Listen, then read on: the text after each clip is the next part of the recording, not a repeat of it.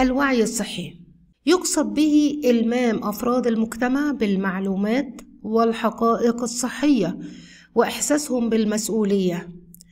نحو صحتهم وصحة غيرهم من خلال الممارسة الصحية عند قصد نتيجة الفهم والاقتناع لتحويل تلك الممارسات إلى عادات تمارس بلا شعور أو تفكير.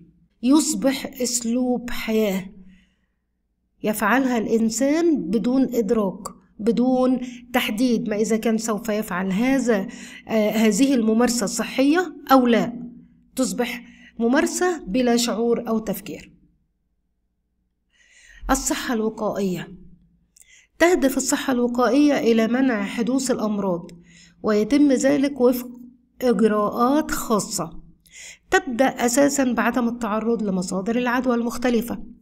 والابتعاد عن الأماكن الملوثة.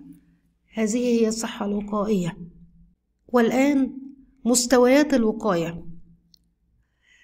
فمستويات الوقاية إذا أردنا أن نصل إلى صحة وقائية على مستوى الفرد والمجتمع لابد أولا من رفع المستوى الصحي لدى الأفراد.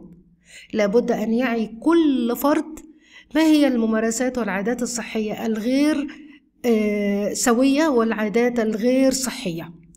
الوقاية النوعية من الأمراض.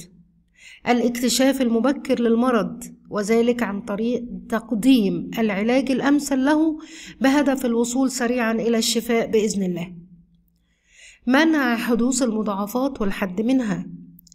الإعداد البدني والتأهيل النفسي والاجتماعي.